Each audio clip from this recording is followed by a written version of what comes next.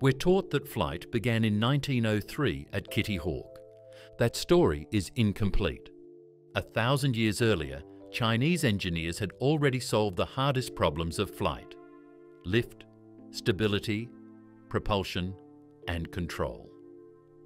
The same four problems every airplane and rocket still has to solve today, using nothing but wood, silk, and observation. What the Wright brothers proved in 1903 relied on physics that had already been explored centuries earlier. Today, we're breaking down 10 ancient Chinese inventions that conquered the air long before flight had a name. And once you see them, modern aviation history will never look the same. Thousands of years ago, Chinese engineers were already studying air as something that could be measured, shaped and used, not just endured. Every device I'm about to show you uses real physics principles. Modern engineers have tested these designs. They actually work. Many of the same physical principles still appear in modern aerospace engineering today. We're talking about wind measurement systems, deployable structures, multi-stage rockets, human flight. But here's what makes this even more incredible. These weren't accidents.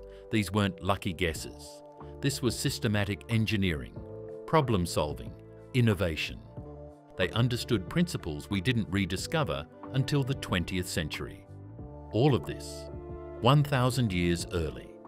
Today, we're counting down 10 inventions that prove ancient China conquered the air from simple wind vanes to human carrying kites, each one more incredible than the last. And number one, it's going to change how you think about human flight forever. So buckle up. We're about to take a journey through the most advanced ancient technology you've never heard of. But before we dive into flying machines, we need to start with something simpler, something that changed everything. The wind. See, most people think wind is just wind. It blows. It stops. Random, unpredictable. But Chinese engineers in the 2nd century BC saw something different. They saw data. Picture this. You're a Han Dynasty emperor. You need to know which way the wind blows for military campaigns, for sailing, for construction. So what do you do? Chinese engineers mounted bird-shaped vanes on palace roofs. These weren't decorations. They were precision instruments. Here's the genius part. They took something invisible, wind direction, and made it visible, measurable, useful. The same principle powers modern weather stations, airport wind indicators, even the sensors on your car that tell you wind speed. But here's what's truly incredible. This was one of the earliest scientific instruments to treat air as something you could measure and eventually engineer. Think about that. While the rest of the world saw air as empty space, China saw it as a fluid, something with direction, force, properties you could measure and use. This was the moment humans realized air could be studied, predicted and engineered, not just some simple weather tool. But reading the wind was just the beginning. Now imagine you need to move air, but you also need to carry your air-moving device everywhere you go. Impossible, right? Not for Chinese engineers. By the medieval period, Chinese craftsmen had turned the folding fan into a precision machine. Ribs, pins, and carefully controlled movement. A deceptively simple but precise mechanism. Think of it as one of the world's most refined early collapsible technologies. Folded, nearly zero space, open, serious air-moving power. But here's what most people miss. This isn't just about staying cool. This is deployable structure engineering, maximum surface area when you need it, minimum storage space when you don't. The same logic powers spacecraft solar arrays that unfold in space, deployable antennas, emergency shelters. Chinese fan makers were solving the area to volume ratio problem in everyday objects 1,000 years before we put satellites in orbit. How can we relate? Imagine, each rib works as a radial spar. The fan leaf becomes a deployable air-moving surface. The rivet system allows controlled rotation around a single axis. This simple fan uses the same deployable structure logic engineers still rely on today.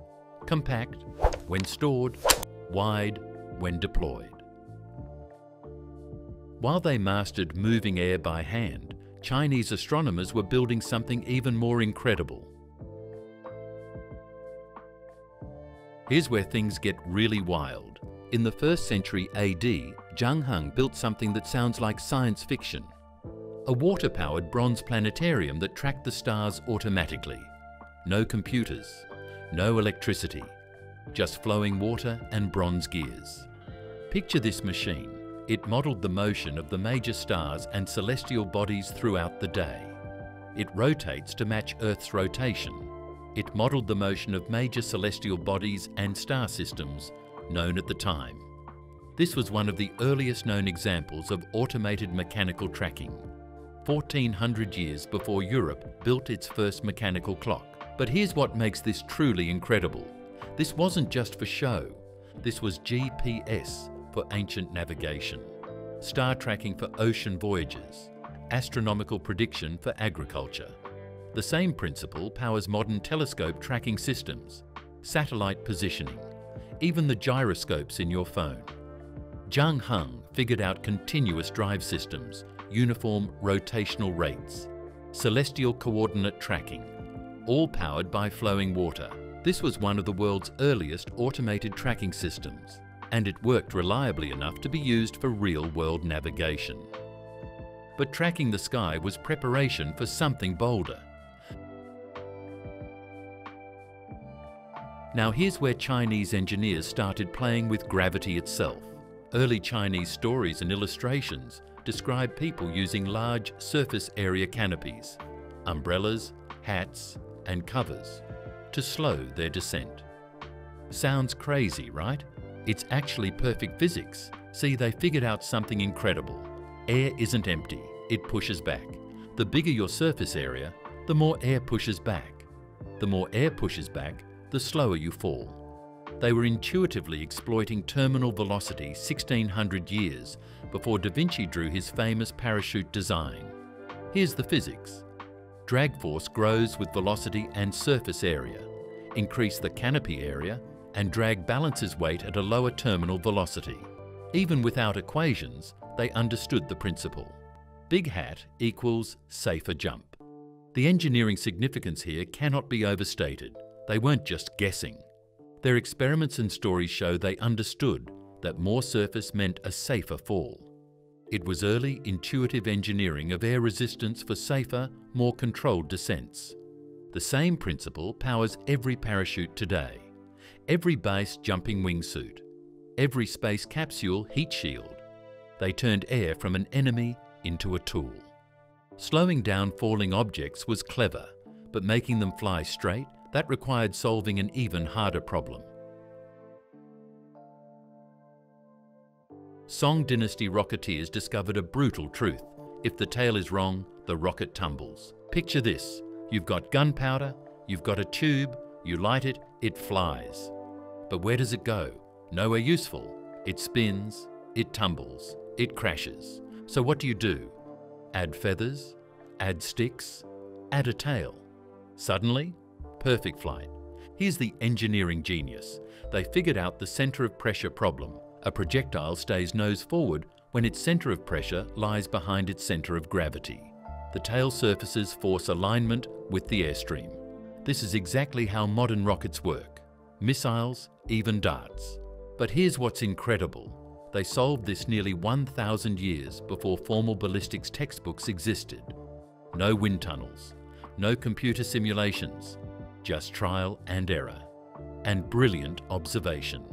Song Dynasty engineers understood that air has force, direction, predictable effects on moving objects. They turned chaotic flight into controlled flight, random trajectories into precise targeting. The same stabilization principles still govern modern rockets today. Stable flight was just the foundation for their next breakthrough. The 14th century Fire Dragon manual documents something that sounds impossible. A dragon-shaped rocket device that travels over water, then ignites multiple smaller rockets inside. This is multi-stage propulsion, 600 years before NASA made it famous. Here's how it works. Stage 1. The carrier body uses its rocket charge to reach the target area. Stage 2. Interior Arrow rockets ignite after the initial flight.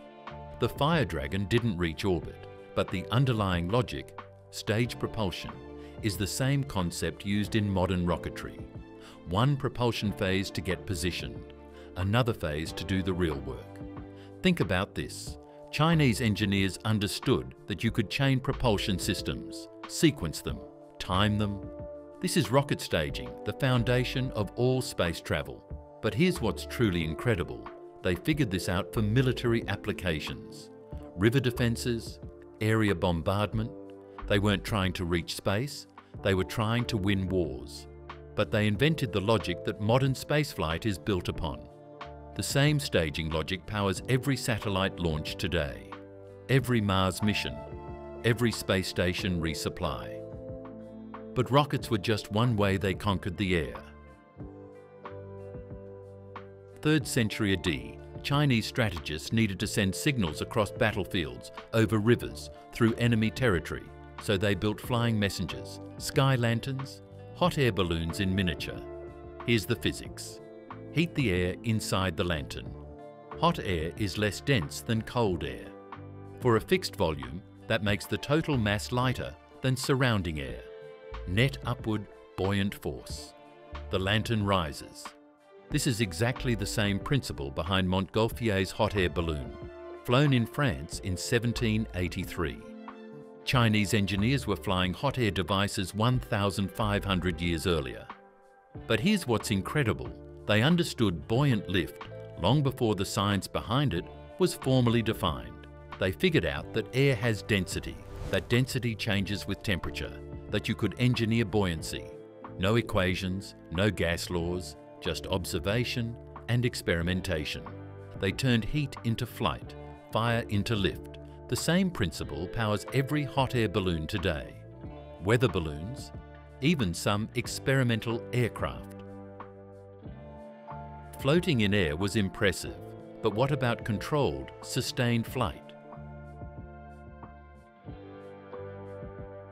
Chinese kite makers spent 2,000 years perfecting something incredible bamboo and silk frames with cellular bracing, high aspect ratio surfaces, multi-cell structures. This wasn't just for fun, this was serious engineering. Here's the genius. Cellular stability. Multiple rectangular cells increase torsional stiffness. Stacked surfaces increase lift. The kite stays aligned. It generates more upward force, it flies better. When early aviation pioneers like Lawrence Hargrave and later the Wright brothers designed the first airplanes, they used box and biplane kites to prototype wing shapes. They were formalising structural tricks that generations of Chinese kite makers had already explored with bamboo and silk multi-cell frames.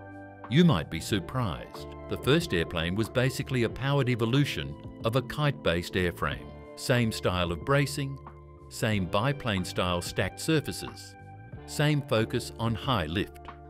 Chinese kite makers had already solved stable, controllable lift in tethered flight. They just didn't have engines. But here's what's truly incredible. They understood that air could support weight, that you could engineer lift, that structure mattered for stability, all without knowing anything about Bernoulli's principle or angle of attack. Fixed wing flight was revolutionary, but they also cracked rotary wing flight.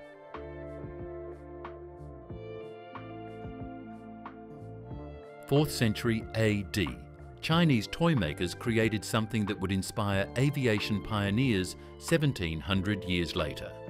The bamboo dragonfly, a stick with blades. Spin it between your palms. It flies. This 1700 year old toy solved the helicopter problem in miniature. Here's the physics. A rotor blade with pitch acts as a rotating wing. Each element generates lift as it slices through air. Integrate the upward force. If it exceeds weight, the toy rises. Modern helicopters use exactly this principle. Quadcopters, military aircraft. But here's what's incredible.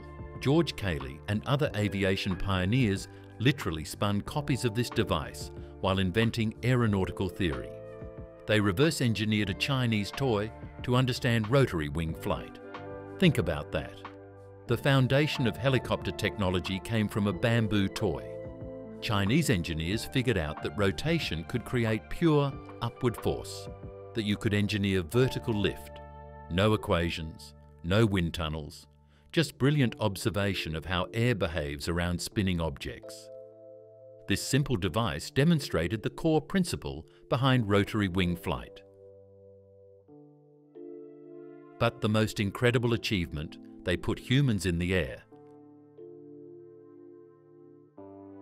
Here it is, the most incredible achievement in ancient engineering. Tethered human flight. 2,000 years before powered aircraft, Chinese engineers didn't stop at toys. By the early medieval period, they were strapping humans to giant bamboo and silk kites. The Book of Sui records the tyrant Gao Yang using man-carrying devices to execute prisoners by forced flight. Marco Polo described Chinese practices of tying men to large grid-frame kites using their flight as omens for naval expeditions. Not a mere mythology, but an impressive engineering. In engineering terms, a man-lifting kite is a tethered, unpowered aircraft, a controllable aerial platform, stabilised by aerodynamic design and ground crew. They demonstrated controlled, tethered human lift more than 2,000 years before powered aircraft. Think about this. While Europe was in the Dark Ages, China was flying people. For reconnaissance, for ritual, for testing wind conditions.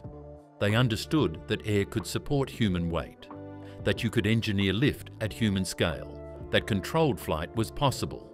Here's what's truly mind-blowing. They showed that the fundamental problem of aviation, getting humans into the air, could be solved with engineered kites. They did it with unpowered aircraft and ground crews instead of engines. For the first time in history, a human left the ground, not by accident, not by myth, but by design. 10 inventions. One incredible truth. China solved the core problems of flight centuries earlier than modern aviation. Every principle I showed you is still used today, from weather vanes to space rockets from parachutes to helicopters. But here's what this really means. Innovation doesn't happen when we think it happens. Genius doesn't follow our timelines. Somewhere right now, someone is solving problems we think are impossible. Building things we think can't exist. Just like Chinese engineers did 2,000 years ago. Which invention impressed you most? Drop a comment and let me know. Was it the multi-stage rockets? The human flight? the automated star tracker? If you want more mind-blowing engineering secrets from history, hit that subscribe button. Trust me, you won't want to miss what's coming next. The future isn't always invented next. Sometimes it's rediscovered.